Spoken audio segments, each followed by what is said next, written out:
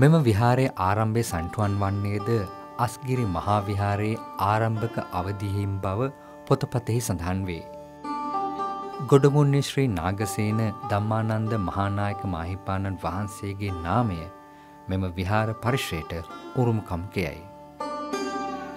වර්තමානයෙහි විහාරාධිපතිත්වය දරන්නේ අස්ගිරි මහාවිහාරයේ ජේෂ්ඨ කාරක සංඝ සභික මකුරුප්පේ නාගසේන ශ්‍රී රතනජෝති නාහිම්පාණන් වහන්සේ. අප කවුරුත් දන්නා ඉතිහාසයේ යම් පෙරලියක් සිදු කළ වාරියපොළ ශ්‍රී සුමංගල අනුනාහිම්පාණන් වැඩවිසූ පන්සල් භූමියද මේමැයි.